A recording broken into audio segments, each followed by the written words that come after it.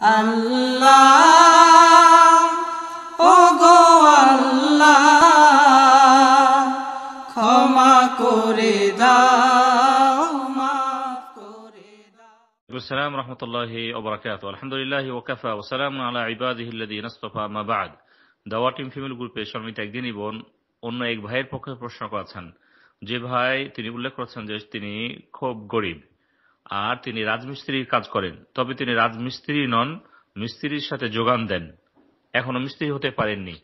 ভাই, উল্লেখ করেছেন যে এখন আমার যিনি মিস্ত্রি, যার আন্ডারে আমি কাজ করি, তিনি একটি মাজারের কাজ পেয়েছেন। আমি দিন আনি দিন খাই। যদি কাজ না করি, তাহলে ওই দিন উপোস থাকতে হয়। খেতে পাই না। এই ক্ষেত্রে আমার প্রশ্ন হলো, মাজারের কাজ, মাজার মাজার তৈরি করা এগুলো তো হারাম এটি স্পষ্ট? এই ক্ষেত্রে আমার করণীয় কি হবে? আমি কি সে কাজ করতে পারব? আমার জন্য বৈধ হবে? নাকি সে কাজ করা যাবে না? আমার জন্য অবৈধ? জানালে উপকৃত হব। আহ, সম্মানিত দিনী ভাই না এটি ঠিক হবে না আপনার জন্য। কেননা মাজার যেহেতু হারাম দিয়ে গঠিত হয় এখানে যে কাজগুলি হয় সবগুলোই হলো হারাম। এমনও এমনও কাজ হয় যে সেখানে সরাসরি আল্লাহর সাথে শিরিক করা হয়। আর বেশিরভাগ মাজারগুলোতে কিন্তু এমনটি হয়। একটি মাজার সেখানে কবর তৈরি করা হয় এবং কবরে রীতিমতো সেচ দেওয়া হয়, কবরে তার কাছে চাওয়া হয়, যেগুলো ইসলামে বড় শিরিক। কেউ যদি এই কাজগুলো বিশ্বাস করে, এই কাজগুলি করে, তাহলে ইসলাম থেকে সরাসরি বের হবে এবং অনন্ত কালের জন্য তাকে জাহান নামে জ্বলতে হবে।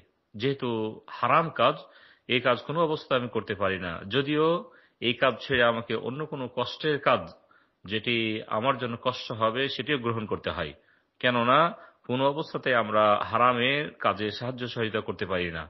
আর এটি ব্যাপক আয়াতের অর্থ এভাবে আমরা বলতে পারি। আল্লাহ বলেছেন আলাল আলাল তোমরা আহ, সওয়াবের কাজে ভালো কাজে পরস্পরকে সাহায্য সহায়তা করো। অন্যায় কাজে গুনাহের কাজে সাহায্য সহায়তা করো না। আর এটি অন্যায়ের কাজে সাহায্য সহায়তা করা। অনুরূপভাবে হারাম কিছু পরিবেশন করা। কোনো দোকানে কাজ করছে, যেখানে হারাম পরিবেশন করতে হবে, মদ পরিবেশন করতে হবে শুকুরের মাংস পরিবেশন করতে হবে, এগুলো হারাম। কেননা আমি অন্যায় অথবা গুনার কাজে সাহায্য সহায়তা করছি। অতএব এই কাজ থেকে অবশ্যই দূরে থাকতে হবে এবং যদি হয়ে যায় তাহলে আল্লাহর কাছে বিশেষভাবে তৌবা করতে হবে। আল্লাহ আ'লাম।